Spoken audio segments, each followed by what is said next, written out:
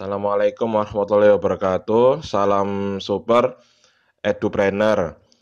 Pada kesempatan hari ini eh, materinya adalah top up saldo e-money aplikasi 5.17 aplikasi Patreon 5.17 jadi saudara untuk top up saldo e-money di aplikasi Petren 5.17 saudara bisa masuk ke aplikasi Petren e-money-nya atau Petren 5.17-nya yang terbaru tahun 2018 ya bulan uh, Desember tanggal 8 ini saudara bisa masuk di menu top up. Pencet top up kemudian baru dilihat Nah ini seperti ini ya. Bentar, top up. Ya, nah ini top up baru saudara bisa pilih nih mau ke kantor Petren ATM. Nah, kita lihat ATM dulu. Nah ini untuk sementara ini masih bekerja sama dengan CIMB Niaga, sedangkan yang lain masih dalam proses migrasi. Nah, seperti ini kalau saudara punya CMB Niaga seperti ini ya. Nah, ini nah tata caranya untuk CMB Niaga. Nah, untuk via ATM, sedangkan untuk via ATM bank lain ya seperti ini. Ya, cukup memasukkan kartu ATM PIN, pilih transfer, masukkan nominal top up, caranya top up. Nah ini kode bank 022 kemudian tambah 1139 kemudian baru masukkan nomor rekening. Oke seperti ini. Kemudian banyak sekali pertanyaan Pak kalau lewat mobile banking Pak bagaimana? Nah bagi Anda yang punya mobile banking CMB Niaga saudara bisa langsung ke menu transfer Nah, ke menu transfer terus rekening CMB Niaga, masukkan nomor tujuannya langsung. Nah, masukkan nomor tujuannya langsung seperti ini tinggal saling salin aja langsung masukkan. Nah, sekarang bagaimana kalau misalnya mobile bankingnya dari bank lain? Nah, dari bank lain seperti ini ya, pencet bank lain, mobile banking banyak bank lain ya ini mobile banking bank lain. Kemudian ya ini jenis transfer transfer biasa. Kapan mau transfer biasa? Kemudian uh, pilih nama bank CIMB nominal top up lalu tinggal ini tinggal disalin aja. Oke langsung kita coba ya. Uh, top up melalui top up saldo e-money ya Patreon 5.17 uh, via Bank Mandiri. Ini kita lakukan coba ya. Oke, pertama kali kita langsung saja salin biar tidak keliru. Ini kita salin. Ya, baru baru kita masuk ke uh, Mandiri. Masuk ke aplikasi Mandiri.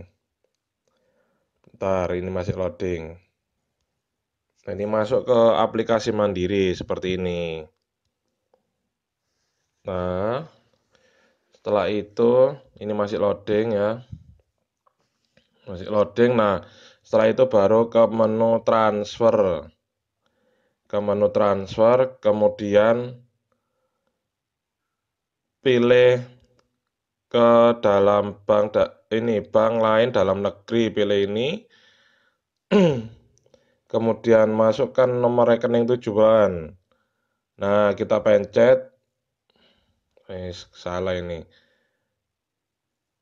Nah bank pilih bank CMP Niaga.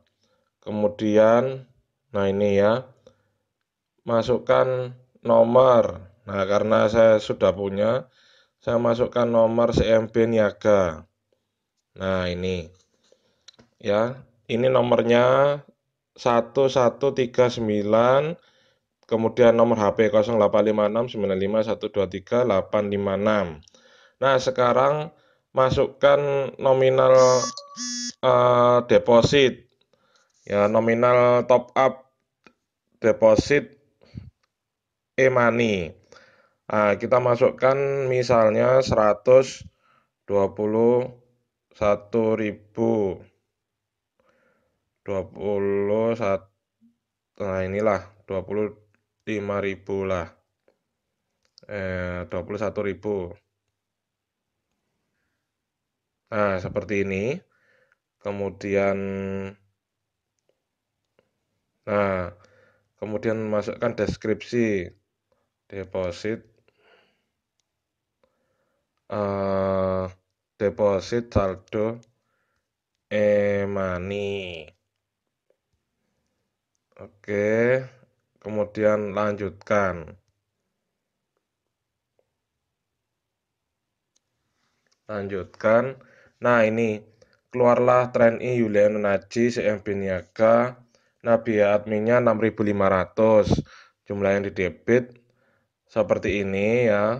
Deposit eh, jumlah yang didebit 127.500 karena ada ketambahan administrasi 6.500 deskripsinya deposit saldo e-money. Oke, saya transaksi dulu, pencet kirim. Nah, baru masukkan PIN. Nah, ini sudah sudah saya masukkan. Nah, ini transaksi berhasil. Nah, kita lihat, kita cek dulu apa benar ini transaksinya berhasil. Kita cek ke Petren 5.17. Kita cek di menu saku. Masukkan PIN transaksi. Sudah saya masukkan PIN transaksinya, kemudian konfirmasi. Tara, jadi ini sudah muncul ya, sudah muncul saldo eh, e-money-nya yaitu ini tadi punya saldo 49.000 dan tambah 121 jadi 170.000. Nah, kita lihat historinya.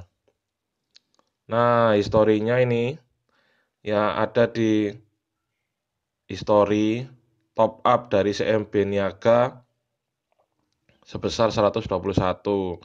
Saya sudah top up dari CMB Niaga juga 250.000 seperti itu. Bagi Anda yang trouble, sering trouble, top up lah di pagi hari, jam 4 pagi sampai jam eh, 7 pagi itu biasanya lancar. Oke, semoga bermanfaat ilmunya. Eh, bagi Anda yang suka dengan video top up, uh, tutorial top up, saldo e-money, pet aplikasi Petren 5.17 yang terbaru. Silakan like, share, and subscribe-nya video tutorial top up deposit uh, Petren e-money ya. Aplikasi Petren 5.17 terbaru. Jangan lupa like, share, and subscribe-nya. Silakan komentar di kolom komentar video di bawah ini. Terima kasih atas perhatiannya.